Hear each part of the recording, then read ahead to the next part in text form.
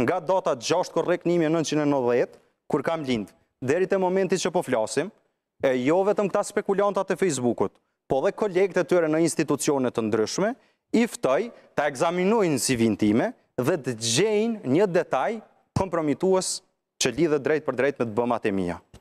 Nuk ekziston. Prandaj këta duhet të spekulojnë dhe duhet të shpifin, sepse përndryshe unë do të isha goditur për punën që bëj. Përndryshe unë do të isha akuzuar për korrupsion. Por sot, që një vjet e sa kohë që unë qeveris, unë e di që në punën që kam bërë nuk është keqpërdor asnjë kapak i një shishe. Jo diçka ma tepër. Sepse, po të kishte diçka ma shumë, mos meno që këta ishin marrë me territore. Dhe në fund dua të them diçka. Republika e Shqipërisë... Kemi e ndëkop jo, të bëtë të vëndlaksojnë dhe të japim hapësirën. Republika e Shqipërisë nuk është pjesë e grupit negociator të Kosovës. E para.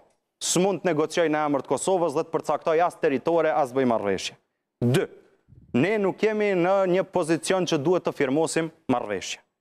Tre, Ne nuk jemi në Kuvendin e Republikës Kosovës që duhet ratifikojmë një marrëveshje ndërkombëtare. Të ma thotë dikush mu, se si po i ndajka territoret e po i prejka hartat Shqipëria në emër të Kosovës, është marrëzi ta mendosh këtë. Është e pandershme, veçanërisht për ata që e përçajnë kombin duke u thirrur në emër të bashkimit të tij. Kjo është e para. E dyta, Sot kryeministri e tha në konferencë për shtyp, unë po e mbyll këtu, i pyetur At Gjergj Fishta se si janë shqiptarët, tha shqiptarët janë ashtu siç i do Hasmi. E në këto rrethana, vend se të ketë një bashkërendim mes Kosovës dhe Shqipërisë, ne për pjesën tonë e kemi bërë dhe mund të shpalosi detaje, ka akuza dhe ka pasur një agjendë sistematike për të thelluar hendekun mes Kosovës e Shqipërisë. Dikush e ka bërë në emën të patriotizmit, por le të menojnë shqiptarët dhe gjithë mendjekthjelltët po kujt i ka konvenuar kjo agjendë. Jam i hapur, për herë të parë se ky lloj komunikimit nuk është në natyrën time. Unë kam qenë i fortifikuar në guaskën time diplomatike dhe natyrisht kam ruajtur qetësinë e nevojshme, që besoj po e ruaj edhe sot përkundër faktit që po flas më hapur se sa hera tjera. Kush e ka bërë dihet.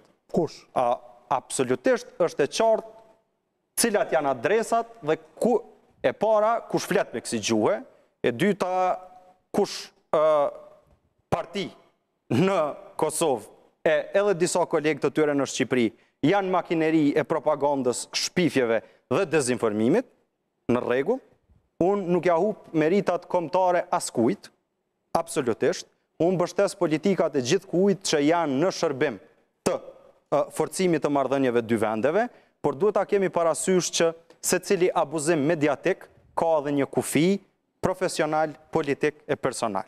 Dhe është tepër e rëndësishme që veçanërisht në dritën e ngjarjeve që kanë ndodhur tani pas propozimit për ngritjen e aktakuzës për Presidentin e Republikës dhe ish-kryeparlamentarin ë ë në të njëjtën kohë dhe themeluesë të Ushtrisë Çlirimtare të Kosovës, ketë më shumë frymë bashkëpunimi më tepër tejkalim të mllefeve, inateve dhe të mendohet më shumë në terma të politikave shtetërore, sesa llogarive afatshkurta politike në Kosovë, që fatkeqësisht po i shoh ende të pranishme.